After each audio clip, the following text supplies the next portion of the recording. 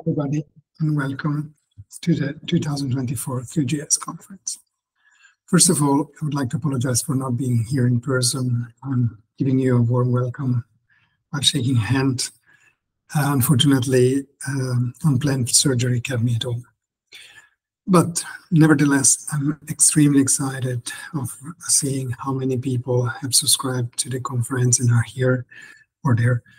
And um, I know that you're all looking forward to many very interesting sessions and uh, sharing your know-how and learning new things about QGIS. Since 2022, in the QGIS world, we put a lot of work into um, getting the PR, the communication language, up at the same level uh, of quality as the software that we have. We do have a fantastic software, but we were not presenting it and telling people that don't know what QGIS is in the same manner. We were actually really lagging behind with um, with that part. We've been focusing a lot. We've been doing workshops on missions, visions. We created a, bla- uh, brand book. Uh, we have a new claim so that we really can tell somebody that does not know who or what is behind QGIS. Uh, so we can give them the chance to actually understand really quickly um, how good of a project we have here. We're now thrilled to have released this summer, actually, a couple of months ago, not even, a wonderful new website that conveys exactly this. It shows our brand, it shows our language, it shows simplicity, but it also shows the power that is hidden behind the project. It has been a lot of work, and I think the work that was put in there is amazing. Obviously, all this has been possible only thanks to all the collaborations that we have, all the contributors that help QGIS making it what it is today, from developers to translators to donors to sustaining members, companies and volunteers. All these are people that behind um, that are behind QGIS and then make it the fantastic project that it is.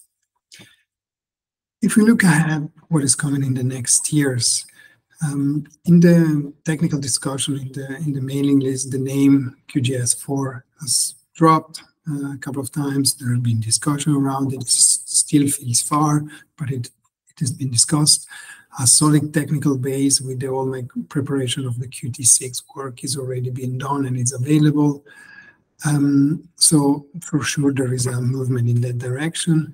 But also I think uh, what we will have is a an ongoing work on this um, communication. So we have new new tools, we have a new website, we have a new language, we have new branding. With all these, I can, and with the help of other hopefully as well, we'll be able to onboard more peak sustaining membership to ensure the financial stability of the project and so uh, to be able to manage the continuous stream of work that is needed.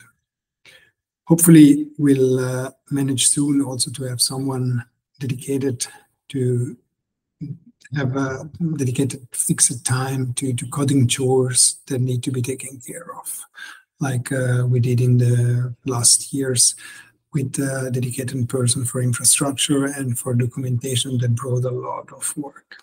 Uh, sorry, that solved a lot of work, obviously.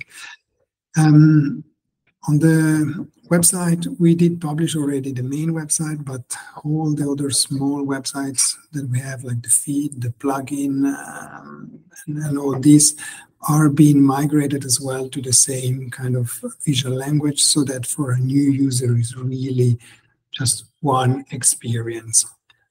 Finally, um, I would like um, to thanks everybody that made this conference possible all the sponsors, the volunteers, the participants. I really wish that uh, I was there to be able to uh, engage in the sessions, workshops, and discussions with you. But I guess I'll see you either in December in Belém at the first Latin American QGIS Day or next spring in Sweden. Enjoy the conference.